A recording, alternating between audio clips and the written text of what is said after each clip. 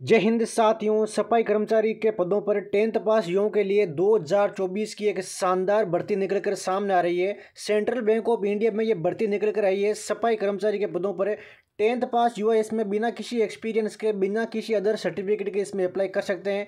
तो चलिए साथियों, डिटेल से देखते हैं। Education qualification, age limit apply कहाँ से करना है और आपके फ़ीस क्या मांगी गई है? तो सबसे पहले बात करते हैं कि फॉर्म कब से शुरू हो रहे हैं।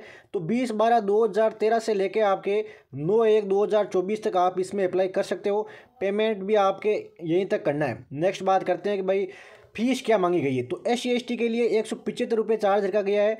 जनरल ओबीसी के लिए आठ सौ पचास रुपये का चार्ज रखा गया है। प्री एग्ज़ाम ट्रेनिंग जनवरी दो हज़ार चौबीस जो आप देख सकते हो।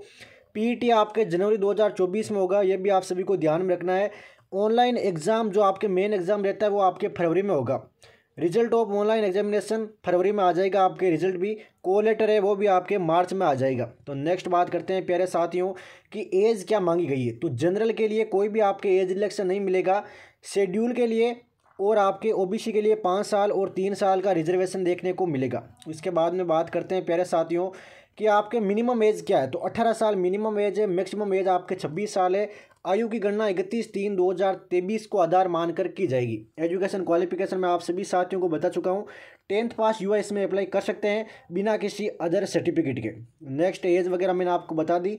सिलेक्शन प्रोसेस में आपके, जो आपके रिटर्न टेस्ट होता है, उसमें आपके चार सब्जेक्ट रहते हैं। आसान सा पेपर रहता है, ज़्यादा हार्ड नहीं आता है। टोटल सत्तर रहते हैं आपके। सत्तर मार्क्स के नब्बे मिनट में आपको ये पेपर करना होता है।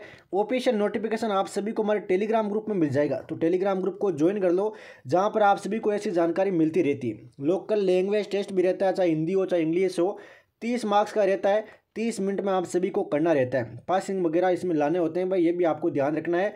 ये आप देख सकते हो, भाई, कौन सी लैंग्वेज में कहाँ पर रहता है। नेक्स्ट बात करते हैं अप्लाई कहाँ से करना है? तो अप्लाई साथियों, आप सभी को ऑनलाइन साइट से करना है, जिसका लिंक मैं आप सभी को टेलीग्राम ग्रुप में डाल दूँगा। जानकारी पसंद आए तो लाइक और शेयर ज़रूर करें। जय हिंद, जय भारत, वंदे मातरम।